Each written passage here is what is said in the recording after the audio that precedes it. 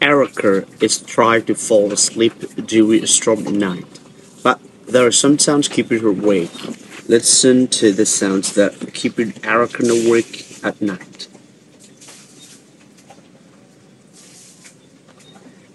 It was a stormy night, and Erica was trying to get to sleep.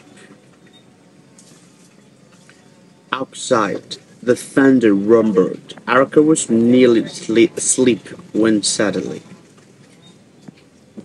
Meow. What's that noise? Erica wondered. It was Cuddles the cat.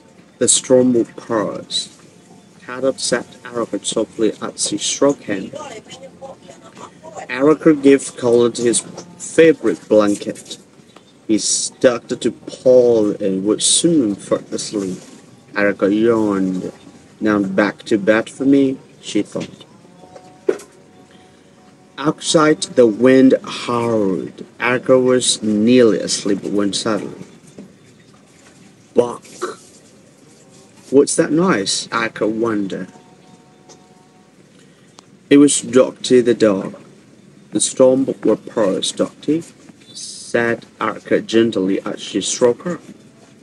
Erica gave Dotty her favorite toy.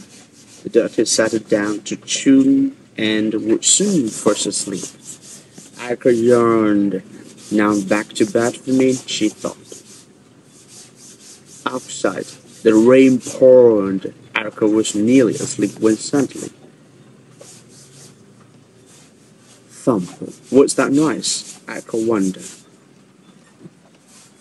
It was Rocket the rabbit.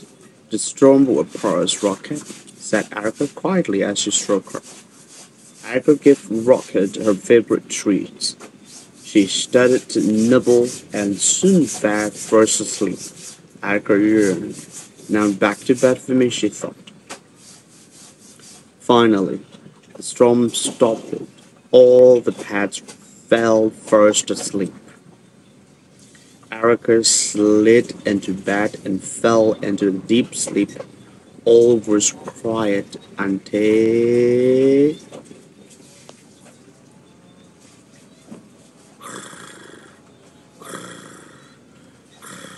What's that noise?